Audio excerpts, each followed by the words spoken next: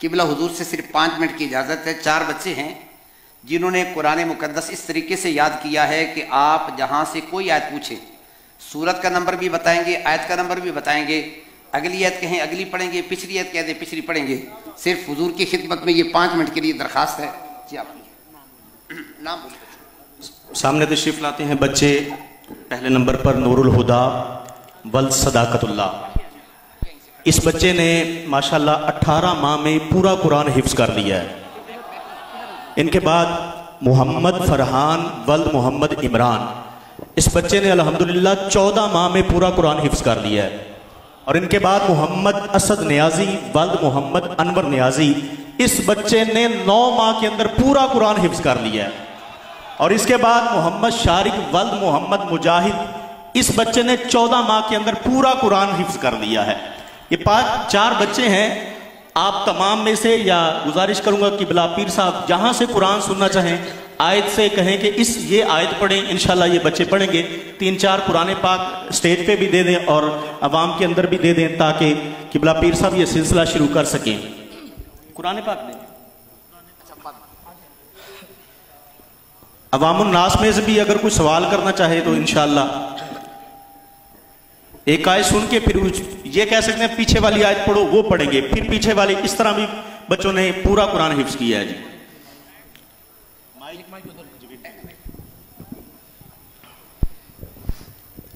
جی۔,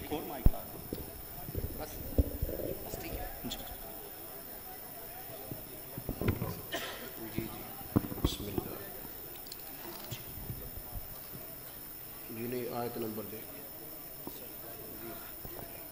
بسم اللہ۔ بیٹا سورہ بقرہ کی آیت نمبر دو سو اڑتالیس تلاوت کریں۔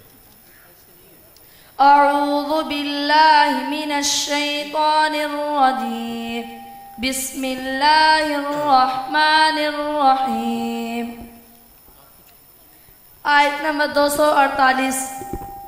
ألم تر إلى الملأ من بني إسرائيل من بعد. موسى إذ قالوا لنبي له مبعث لنا ملكا نقاتل في سبيل ماشاء اللہ الله. سبحان اللہ بلند آواز سے ذرا پکارے. سبحان اللہ سبحان آیت نمبر کیا ہے؟ اللہ اکبر. یا رسول اللہ. حق چاری یا۔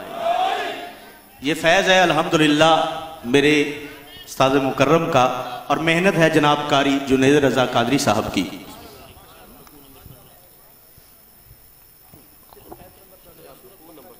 یا ایوہ النبی جاہد الکفار۔